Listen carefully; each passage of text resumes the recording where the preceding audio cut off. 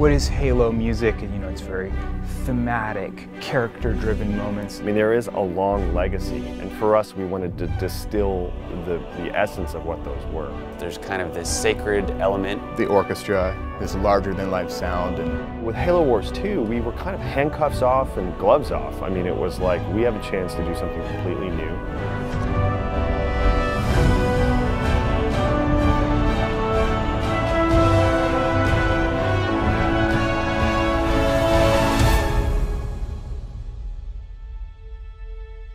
When I sat down with Brian and Brian and said, hey, you know, we want to launch a whole nother score, rebirth the whole franchise, um, or a part of our existing franchise, how, do we, how are we going to do that?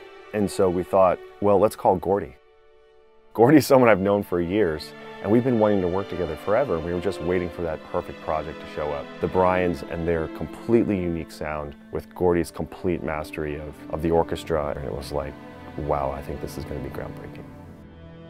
Something that I wanted to do, and we discussed this in the beginning, was um, uh, approach this score very thematically. So each character having a theme and sort of a in a more old-fashioned traditional approach to the score, but done in a modern way. We wanted new themes and, and that still kind of felt, feels like Halo, but it also moves the story further and taking the sound, you know, into the sort of next generation of, of Halo music. With Atriox, uh, he's a brute and this huge intimidating character. There's a darkness to a lot of, of the sound texture with him. He's a tragic figure in, in, in an interesting way. There's, there's a little bit, of, there's sort of a sadness and a hope.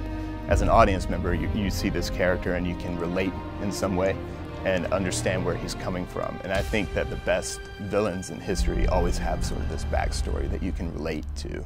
And so you can understand exactly why they are the way they are. You know, it's funny, just like we have this compelling new character with Atriox, Isabel is just as compelling, if not maybe even more so in a different way. We wanted someone to be relatable.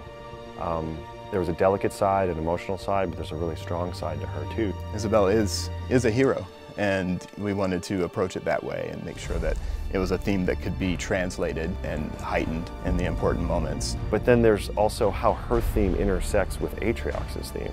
This is true crafted orchestral writing, and this is Gordy's mastery of the orchestra coming into play.